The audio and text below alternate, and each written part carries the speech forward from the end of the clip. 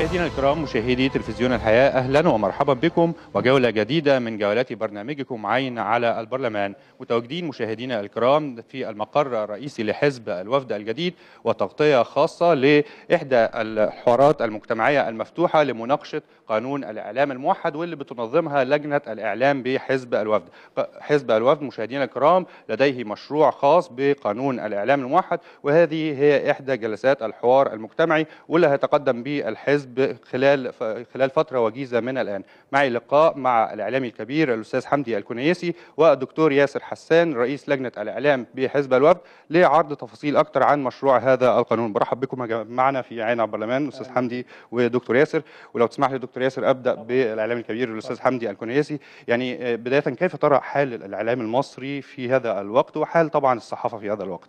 يعني مبدئيا أنا أرى إن حال الإعلام ما سرش عدو ولا حبيب. وصلنا لدرجة من العشوائية والتردي بنتائج بالغة الخطورة. أصابت المجتمع في تكوينه خلقت نوعا من الانشقاق بين ثوار 25 يناير أو المتحمسين ل 25 يناير وبين يونيو ومع أن الاثنين بيكملوا بعض. بوتقة واحدة بالطبع. حتى داخل الأسرة تلاقي اللي يقول لك لا يناير ويقول لك يونيو.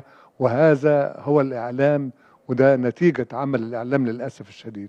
وبالتالي كان لا بد أن تتحرك الدولة نحو قيام المنظومة الإعلامية الجديدة التي نص عليها دستور 2014 في مواده 211 و12 و13 ومع هذه المنظومة بالضرورة بقى رأس الحربة هي نقابة الإعلاميين لأن هي اللي بتضع المعايير المهنية وبتضع ميثاق الشرف الإعلامي. تحت التأسيس حتى الآن إحنا حاليا تحت التأسيس إنما القانون حاليا بتتم مناقشته في لجنة الثقافة والإعلام بمجلس النواب وأنا بتابع وبحضر معهم هذه المناقشات.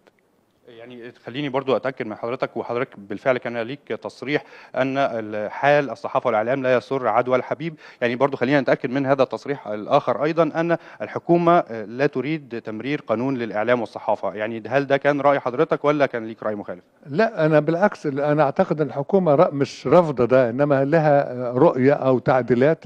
وده اللي خليني أحيي لجنة الإعلام في حزب الوفد إنكم بتسارعوا إلى وضع تصوركم إلى ما قد يكون إضافة للقانون الموحد، القانون الموحد ده نتيجة ومحصلة لعمل لجنة وطنية من الإعلاميين والقانونيين استمرت تعمل على مدى سنة ونصف إنما بالضرورة في نقاط تحتاج للمناقشة والحوار.